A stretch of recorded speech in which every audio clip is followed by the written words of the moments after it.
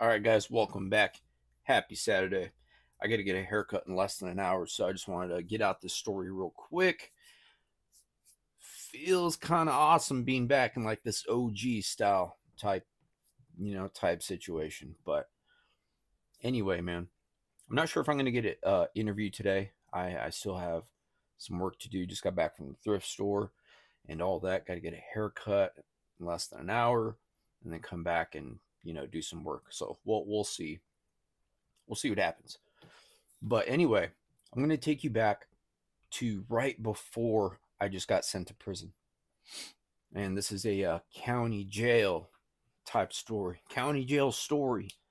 Jail's crazy, dude. Jail is crazy. I'm sure you've heard it before that most people would would rather be in prison versus in jail. If you're in prison and you have a date set, right? If you have a date, you know when you're going to get out, right? When you're due to get out, your projected release date. As long as you don't get in any funk in there, you know you should be going home in one piece. And that's the goal. But in county, anxiety is high. It's it's a small community just like like prison, but depending on the jail, it's like its own little community, its own environment. And the majority of people in jail are like waiting for waiting for a court date.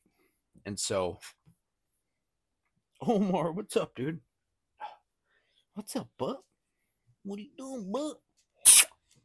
Sorry, Omar wanted some love and anyway. So yeah, the the the difference, man, there there's actually a huge difference in the caliber, like the whole temperature of jail. Because as I just said before, I was rudely interrupted. That people, the majority of people in jail, you know, they're waiting on a court date. They have a court date pending. They are unsure what is going to happen to them, right? They don't know if they're going to get released. They don't know if they're going to um, get sent to prison and do some time, right? Obviously some people will be doing life. While you're in county they know that. So they just want to get sent to a yard and just start doing their time.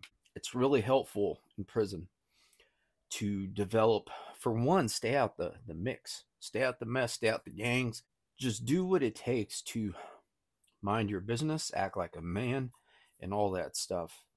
But like i was saying the guys that are doing life their main goal since they know they're not going home. Their main goal is to hit a yard so they could start doing their time. So that's just a little bit about, you know, the vibes in in county jail. Everyone is stressed out, anxieties through the roof, and they just don't know what their their future is going to be like. it's all in the judge's hands, man, in the lawyer's hands as well. This story takes place right around the Jodi Arias era, right when she was on trial. Um, I was uh, locked up in Max. I had a pretty good celly, and this was, uh, you know, shortly before Jodi Arias got sentenced. I'm I'm thinking like 2012, 2013 ish. Um, the end of 2012 or the beginning of 2013, because uh, that's when I got sent to prison. I was in a few different areas of the jail. When I got sentenced, uh, they housed me in Max. I don't know why. I think because I was in a different part of the jail and I was on I was on work release and I dropped dirty. So I think they waited maybe about a week before they sent me to the tower, you know, Max. And uh, you know, you're slammed down the majority of the time. The only the only time that we at the time got to see fresh air was on the weekends and we got to get out every Saturday. I don't remember about Sundays, maybe Sundays too, but Saturdays for sure. Saturday morning, it was mandatory that uh, it was mandatory for us that we hit the yard, and I wanted to to. When I say hit the yard, I mean go to the outside area of the jail. They escort you shortly before eight o'clock, and then you know they take you to the the yard outside you're out there maybe for like an hour or two, whatever. So while I was in Max in the tower, I was housed next to the head of the the head of the white guys. You know, each race, if you're out here on the west side, southwest, it's very political, and there's different different races, and there's different cliques, right? And I was housed right next to the main guy for the white guys. Really cool guy. Um, in in the tower, there's a lot of high profile cases, so it, it was really it was a serious situation, right? And it could be dangerous if you get caught up in the mix, if you owe debts, whatever. I mean, jail will be jail. You just got to carry yourself like a man and do the right thing and keep your mouth shut, you know, while you're in there. Otherwise, you're going to have problems for yourself. But anyway, my celly was a 18 year old kid. He caught a case for, you know, first degree murder, and he was in there, um, you know, going through his process. He caught the case when he was 17. Uh, on his 18th birthday or sometime around there, they sent him to you know the main jail with the with the big boys, with the adults. Like I was saying, I was next to the head of uh, the white guys, real cool guy, funny guy. We got to communicate through a vent. There's like a vent, and and you could just kind of communicate with uh, your neighbor or different parts of uh, of the jail, and it's kind of like your telephone. And so yeah, it's pretty cool. It, it's all cement. You could hear conversations like in your immediate vicinity. It's loud, everything echoes and stuff. So yeah, I mean, I, I got to develop a pretty good routine in there and uh, developed it pretty quick. You know, kind of made time go by pretty pretty quick.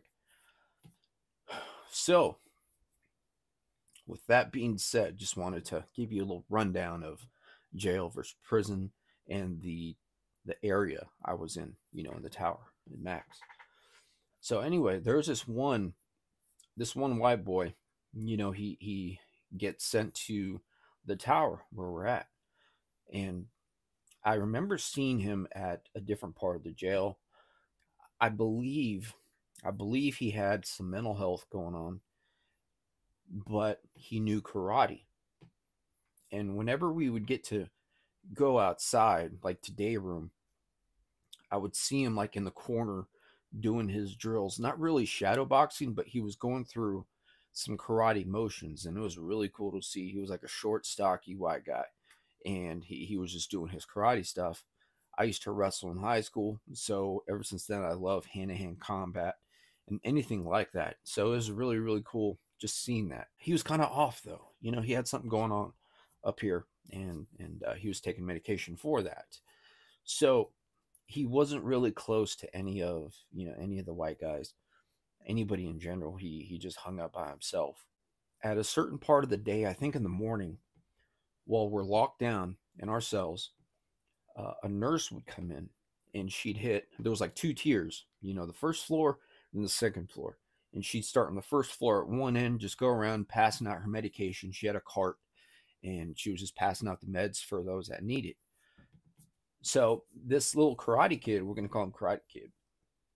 He was maybe a few few cells down. You know, one day we get word, we all hear that while the nurse opened his cell, the Karate Kid, it's alleged that he exposed himself in front of the nurse. The nurse kind of freaks out, gives him his meds, and and there's a CO there, and they close the door, and you know and then she completes her her med pass and so later on that day you know the head of the head of the white guys my neighbor he hears about this he wasn't happy you know you're not supposed to obviously expose yourself but you're really not supposed to do anything that makes your people look bad you know makes your race look bad especially yourself you just got to be respectful and carry your business while you're in there right just act like a man go to court and mind your business, man. Just be cool with people. Sorry, I'm just getting a bunch of eBay notifications. Making sales, right? It's a good thing, but not while I'm recording. Anyway, the head of the white guys, my neighbor, we'll just call him the head. You know, I'm, I'm tired of saying head of the white guys. So the head, you know, he talks to a bunch of people, you know, throughout the throughout the unit, and he wants everybody as a favor. You know, even though I'm not a white guy, I'm not rolled. I'm not with them, right? I'm not rolling with these guys. He just said as a favor, you know, we got to keep the whole unit, the whole the whole run, got to keep it cool, keep it legit, and just professional, right? So he just asked everybody to keep an eye on this guy, and so the plan was he devised a plan to get this guy, the Karate Kid. He devised a plan to get this guy out of the unit. And there's only so many ways you could do that. Ultimately, the plan was to have another white guy to smash him, beat up the Karate Kid. And so, fast forward some time, right? Man, I gotta hurry up. Fast forward some time. One day on in uh, during the day room. The day room is when you get to come out of your cell for like an hour, hour and a half, whatever. Just watch TV, watch the Jodi Arias uh, trial, whatever, right? Play some dominoes, checkers, get a haircut. One day we're all out for day room, and I went to go take a shower. Small enclosed area with a curtain. All of a sudden, I hear one of the COs that was on duty said, "Get to your cells, everybody, get to your cells." And so I was tripping out. I was like, man, I'm in the shower, man. So I had to hurry up, whatever, hurry up in the shower. I tried to uh, like peek out. I saw just a bunch of ruckus going on in the uh, in the day room, just a bunch of ruckus, and it was primarily the white guys, right? Everyone else was they headed back to uh, back to the cells and closed the door. So there was only a few white guys out, and so apparently what happened is the head of the white guys he got in contact with another white guy there that was involved in the mix. He was like the biggest white guy there. He was like the biggest dude there. Out of all the races, he was like the biggest dude there and a strong guy. Anyway, so what happened is what I hear and what I was told is um so anyway, yeah, well that's going on. I I get out dry my stuff, put on my clothes. I'm all wet still. I, I go straight to my cell. Anyway, so as as time went on, uh, the same day, you know, I get word that uh, that the biggest dude there, while the Karate Kid was like walking around the day room doing laps. Um, so the Karate Kid was walking right, and the the the big white dude was like walking this way. So they were kind of gonna they were walking towards each other, but the Karate Kid had no idea what was going on. So, anyway, what happened allegedly is the biggest white dude there just clocks the Karate Kid, just like smacked him, and Karate Kid went down. He didn't even get up. He didn't even try to fight back. He just got caught off guard, and the big dude laid him out and that's when the COs just sent everybody straight to their cells. And so, what are you doing, Bob? Anyway, so I tripped out, right? I tripped out. I oh my god, I got eBay notifications. I got Omar right here, man, and I got a haircut soon, and so that happens, right? And so sometime after that, the Karate Kid um, he he gets rolled out the unit, right? He gets rolled out the unit. Uh, he asks um, to go to PC, right? He says he doesn't feel safe there, blah blah blah. So while everyone is slammed down in their cells, sometime throughout the day, he gets sent out the unit, and you know I haven't seen him since then.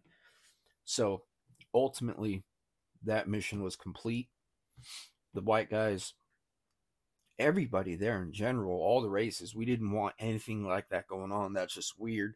That just causes extra un, unwanted energy, right? Because there's people in jail making hooch, doing some other stuff I'm not going to speak on. You know, they're trying to make some money. So having the extra eyes, having making the COs do their job wasn't a good look. It wasn't, it just isn't wanted. it's just not wanted because everyone wants to keep going with their daily routine and doing what they do to, to survive, right? So, if somebody from a certain race is attracting attention negatively, making the COs do their job. That situation, that person is going to get dealt with. Depending on the situation and the severity of the consequence, something's going to happen. To sum it all up, part of me really wishes, really wishes I could have seen that dude get clocked because you don't do that, man. You don't do that. You don't expose yourself. I'm pretty sure this guy knew right from wrong. You know, he understood directions. He just had something going on. I don't I don't even want to know what he was in jail for. If he's doing that type of stuff, who knows what could happen, man? Who knows what could happen? So, yeah, like I said, I never seen that kid ever again. Sometime after that, I get sent to uh, to prison, you know, and I did my time. I had to do my time. So, in regards to my celly, I only have to do 12 months in prison, right? I got sentenced to two years, but with the 85% and some time served, I only had to do 12 months. So fast forward time, I get out of prison and I hop on the county jail website to see what's up with my celly, to see if he hit a yard yet. I just wanted to see what he was doing. So he is still in county, my celly at the time, 18 year old kid. He was probably like 19 or something, 20, you know, by the time he got sentenced and got sent to prison. So, anyway, I got to go to my celly's court, uh, his sentencing, and it was really cool seeing him, man. And I just can't believe, you know, I already did a year in prison, did what I had to do. I was still on parole, but I wanted to see my celly, and I went to his sentencing, and he saw me in the uh, the audience, right in the in the courtroom, with a bunch of people there and he was so surprised. You know, he told on one of the breaks on his sentencing or one of the court days for the trial, on one of the breaks, like a recess or whatever, he told uh, my celly, he told his lawyer to come and tell me hi, thank you for being there, all that good stuff. So, so that was really cool, and you know, he's still uh, he's still locked up right now doing 25 to life It's crazy, man. It's just really crazy. I pray none of you guys have to go to jail. I pray none of you guys have to go to prison. All of my actions, all of anything bad in my life just stemmed from my drug use, you know, from my addiction. Once them opiates hit, you know, aside from my DUI, I got I got a DUI 21 days after my 21st birthday. But aside from that, anything negative in my life is due to my drug my drug addiction. addiction to opiates, man. If I didn't have them opiates, I did whatever it took to get those opiates. And if I never tried opiates in my life, I know for a fact I wouldn't have this channel. I know for a fact I wouldn't be talking to you guys. And I know for a fact life would be different. But I don't waste time thinking about how my life could have been different. Just wasted energy. It's not for me to know. I'll never know. So, whatever, right? All I have is control of today. All I have control over is whether I use or drink or not. And as of right now, my plan is to not do any of that. As of right now, my plan is to go get a haircut, come back and do some work, and keep my day full, which is why I do these stories, which is why I do these interviews and, and, and I just hope I just hope each video I put out, whether it's me right here or an interview, I hope it just touches one person that needs to hear it, needs to see it, right? All of these, all this content that I do, all these stories, interviews, like I still need to hear this, right? I am not involved in AA or NA, but this is the way I am involved. You know, this all of the stuff that I'm doing in regards to YouTube helps keep me sober. And I hope it's, you know, helping you guys as well. I'm really trying to better my interviewing skills and storytelling skills. And, you know, I'm just trying to loosen up, man. I don't know why. When it comes to these stories, you know, I'm still kind of serious because this is a serious topic. But in in reality, like in life, if we're just talking on the street, I'm pretty chill, pretty phony, goofy guy. So I'm always working on something, and I hope you guys are too. Whatever you need tightening up on, hope you guys are addressing that or at least making a plan to, you know, address whatever needs to be tightened up. So I get a haircut in about 36 minutes. Birdman's calling me. Sorry, Bird, I'll call you right back. But Birdman's calling me. And uh, yeah, so I got to call Birdman back and get a haircut. Thanks for watching.